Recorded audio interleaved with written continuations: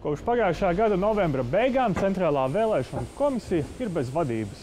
Ko tas nozīmē praksē? Deputātiem ļoti uzskatām bija redzams šonadēļ valsts pārvaldes un pašvaldības komisijas sēdē. Deputāti bija plānojuši diskutēt par CVK izstrādātām izmaiņām likumos Eiropas parlamenta vēlēšanām. Sēdēji attālināti pieslēdzās divi iestādes pārstāvji. Viens, lai grozījums aizstāvētu, otrs, lai brīdinātu, ka grozījumi iesniegti pretiesiski un finanšu aprēķiniem ticēt nevar.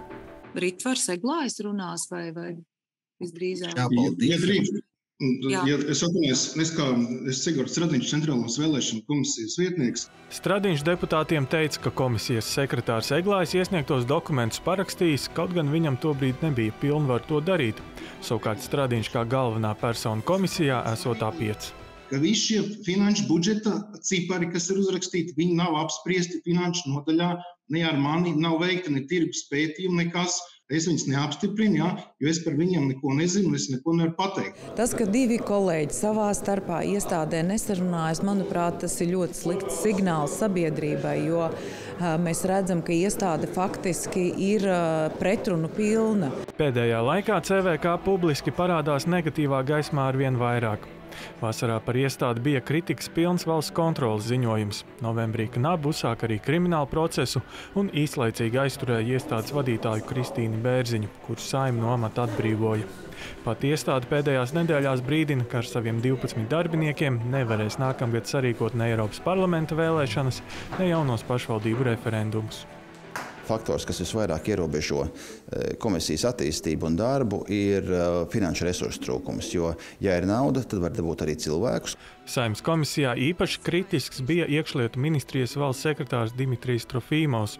Viņš teica, ka no malas vēlēšanas varbūt izskatās labi sarīkotas, taču patiesībā tās izdodas par mata tiesu. To nenoliedz arī CVK loceklis Sigords Stradiņš, sakot, ka pirms pēdējām saimnes vēlēšanām vienīgais aploksņu piegādātājs šaubījies, vai paspēs tās izgatavot laikā, un arī pēdējā krava vēlēšanu zīmju pienākusi tikai nedēļu pirms vēlēšanām. Tagad, kad jāgatavo nākamās vēlēšanas, atlūgumu iesniegusi CVK galvenā juriste. Prom taisoties iet vēl vairāki darbinieki, stāsta Stradiņš. Situācija var būt tāda, ka nu, var palikt tikai valsts amatpersonas un apkopēji. Ja, jo darbinieki arī šādos nenoteiktos apstākļos, kas būs tālāk, ja, arī nevar strādāt, jo viņi arī nezina, vai šīs vēlēšanas varēs norganizēt vai nevarēs. Lielākās bažas gan radījušas vēlēšanām vajadzīgās informācijas sistēmas. Pēdējos gadus iepirkumos par sistēmu izstrādi un vadīšanu piedalās tikai viena firma - Soāra. CVK uzņēmēju izstrādātās vēlēšanu sistēmas pakāpeniski atpērk, tomēr tehniskais atbalsts no Soāra joprojām ir vajadzīgs. Valsts kontrole norāda, ka Soāra tāpēc var diktēt cenu un savus noteikumus. Arī kopumā valsts kontrolas vērtējumā CVK iepirkumi tiek rīkoti novēloti un tie ir vāji vadīti. Piemēram, 21. gadā no 43 līgumiem tad, tad tikai par vienu tika veikta tirgus izpēta. Budžeta plānošana. Jā, ļoti milzīgs īpatsvars um, centrālās vēlēšana komisijas budžetā vienmēr aizņem līdzekļu neparedzētiem gadījumiem, kas pēc būtības ir nepareizi. Nu, tas liecina par tādu īstermiņu plānošanu, tātad ugunsgrēka dzēšanas režīmā. Iepirkumā par IT atbalstu pēdējām pašvaldību vēlēšanām 40 tūkstoši eiro tika izmantoti, lai SOAR iegādātos dators un citu tehniku. Valsts kontrole uzskata, ka tādā veidā ir pamatīgi pārmaksāts, jo CVK faktiski nopirkus uzņēmējiem iekārtas, kaut gan vajadzīgais pakalpojums tika sniegts tikai dažus mēnešus. Līdzībās runājot, mēs uz to varētu raudzīties aptuveni tā, ja mums mājās vai pie mājas ir jāizroka nezinu, dīķis, ja, tad, tad mēs samaksājam komersantam nevis tikai par to, ka viņš šo dīķi izrok, bet pilnībā, piemēram, apmaksājam ekskavātoru iegādi. Valsts kontrole sākusi zaudējumu atlīdzināšanas procedūru, lai pārmaksāto summu piedzītu no CVK amatpersonām. Latvijas televīzijai zināms, ka šis iepirkums ir arī pamatā knābi sāktajam krimināla procesam. Birojs norāda, ka aizdomās turētā status ir CVK priekšsēdētājai un uzņēmuma vadītājam.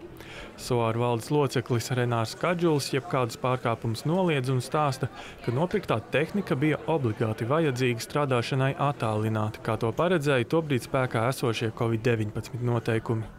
Tā kā viss strādāja attālināti gan no mājām, gan no biroja ar at atbilstošu dežūru grafiku, kurš kurā brīdī kur atrodas. Un šim mums bija nepieciešama papildus tehnika.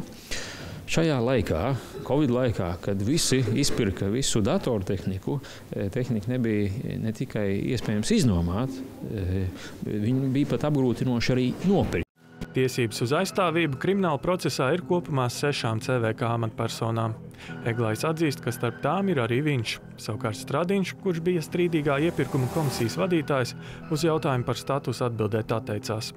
Viņi abi noliedz, ka CVK būtu pirkus uzņēmumam datortehniku. Tas, kas bija, tika pirkts pakalpojums. Un, savukārt, kā eh, pakalpojums sniedzējs to nodrošina, vai eh, pērkot datortehniku, vai eh, nomājot to, vai iztiekot ar esošo vēl kaut kādā ceturtā veidā, tas bija pakalpojums sniedzēja ziņā.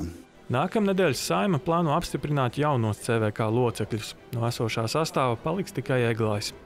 Pirmais uzdevums būs vienoties par pašas komisijas nākotni. Kamēr skaidrības nav, valdība nedod naudu Eiropas parlamenta vēlēšanām vajadzīgo IT sistēmu iegādēji. Tās joprojām pieder uzņēmumam SOAR. Firmas vadītājs Kadžuls norāda, ka sistēmas vēl būtu jāatjaunina, lai tās izmantotu atkal. Tomēr uzņēmums nezina, vai pieteiksies turpmākajos ar vēlēšanām saistītajos iepirkumos.